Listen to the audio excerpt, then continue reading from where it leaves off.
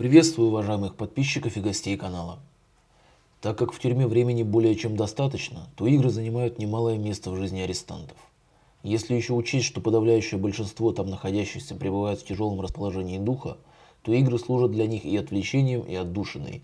Для этого есть несколько всем известных способов. Разговоры, чтение, рукоделие. Обычный человек не может быть счастлив сам с собой. Но игры, конечно, стоят на первом месте. Есть два варианта игр – без интереса и под интерес. То есть первое предполагает просто проведение времени, второе – ставки на игру. Игры – очень распространенное средство разведения лохов. Умело играя на чувствах важности и значимости, опытный кидала долго подводит жертву к игре, зачастую часто ему проигрывая, расточая похвалы и подкалывая, заставляет его потерять бдительность и поставить на игру все, что у него есть и даже больше, и затем наносит решающий удар. Если человеку нечем рассчитаться, он может превратиться в раба, коня, может отработать жопой, навсегда уйдя в касту петухов, может быть поставлен перед необходимостью выполнения любой задачи, вплоть до убийства. Карточный долг – долг чести, и отказавшись от его уплаты, может быть безнаказанно убит, покалечен или изнасилован. В тюрьмах и зонах с преобладанием человеческих понятий, смотрящими обычно установлена верхняя шкала ставок. Для тюрем это обычно около 200 долларов, для зон 1-2 тысячи. Такие меры принимаются обычно по негласному соглашению оперов и воров – первые из которых решают таким образом свои проблемы чужими руками. Также очень распространенный способ на заказ наказать или просто кинуть человека. Шпилевой опускает жертву на определенную сумму, даже небольшую, но достаточную для того, чтобы попросить помощи извне. Обычно для уплаты дается реальный срок, за который родные или друзья могли бы подвести нужную сумму. Все по понятиям. Но тут же начинают работать опера.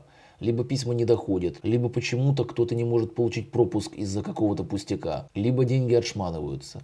Срок оплаты подходит и человек в маргарине. Долг сразу возрастает несколько раз и начинается законная физическая расправа. Или опер вербует себе нового агента, обещая помощь. Часто действует понятийное правило.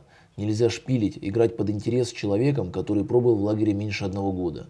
В тюрьме СИЗО когда-то был срок 3 месяца, но теперь он обычно не соблюдается. Игра под интерес, кроме прочих нюансов, экономически выгодна элите. Шпилевые игроки под интерес – платят в общак не менее четверти выигрыша.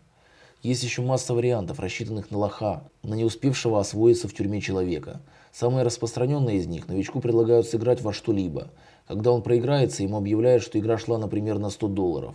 Он говорит, что он не играл ни на что, на что слышит, а я играл под интерес, ничего не знаю. Обращается к Хаде. Кто-нибудь слышал, что он садился играть без интереса? Никто, конечно же, не слышал. Либо на что играем? Ни на что. Проигрыш плати 200 баксов. Мы же играли ни на что. А для меня 200 баксов это ничто. Несмотря на кажущуюся комичность, все очень серьезно. Если и удастся уйти от платы, то часто серьезно пострадавшей репутацией. Еще вариант играем, но просто так. В конце, а ты знаешь, что в тюрьме просто это жопа. Ты проиграл свое очко. Поэтому, если садитесь играть, в любом случае надо объявлять «играем без интереса». Это универсальная формула и услышать согласие партнера. И совет, не садитесь играть под интерес вообще. Но если вы все-таки без этого не можете, то по крайней мере в первые недели нахождения в камере. Есть еще вариант – спортивный интерес. Играют на приседания, отжимания. Часто получается, что проигравший не может выполнить, например, несколько сотен отжиманий за два часа. И тогда ему объявляют замену проигрыша на что-то материальное. Деньги, продукты.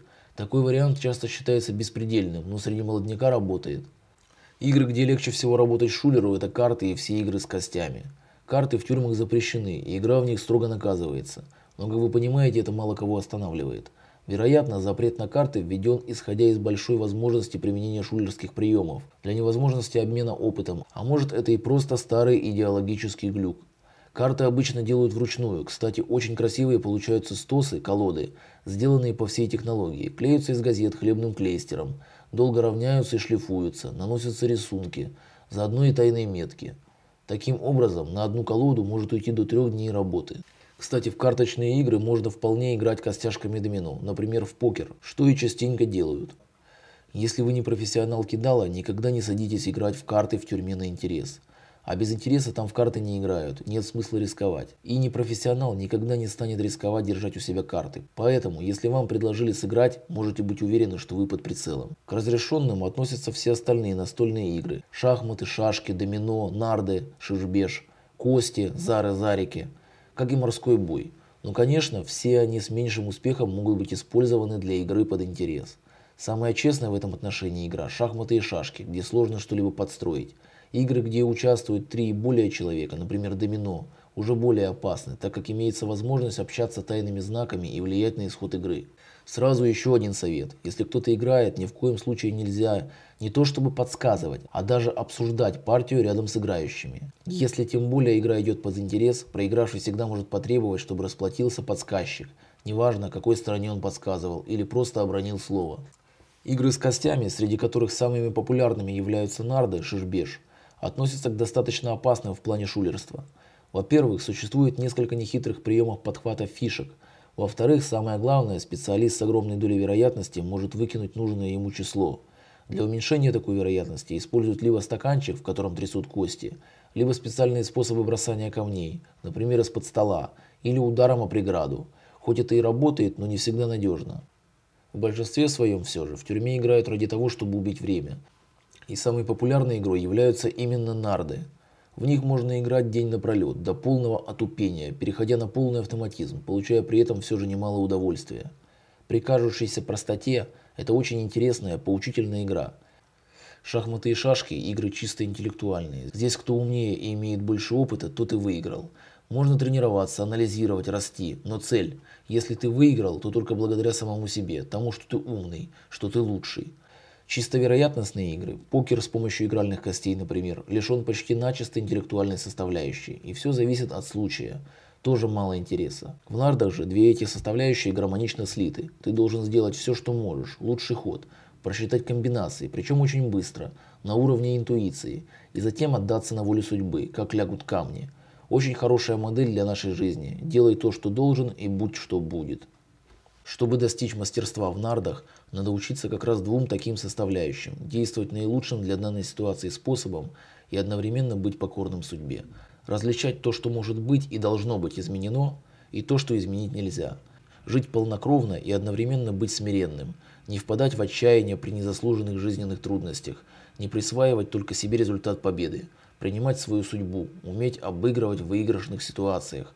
Очень многому можно научиться при таком подходе появляется возможность в такой игровой модели мира видеть себя и свои реакции на ситуации, свои слабые стороны, свои раздражения, злость, отчаяние, гордыню, а увидеть это уже половина пути к освобождению от них. Это был канал «Все о тюрьме», ставьте лайк, подписывайтесь на канал. Удачи вам!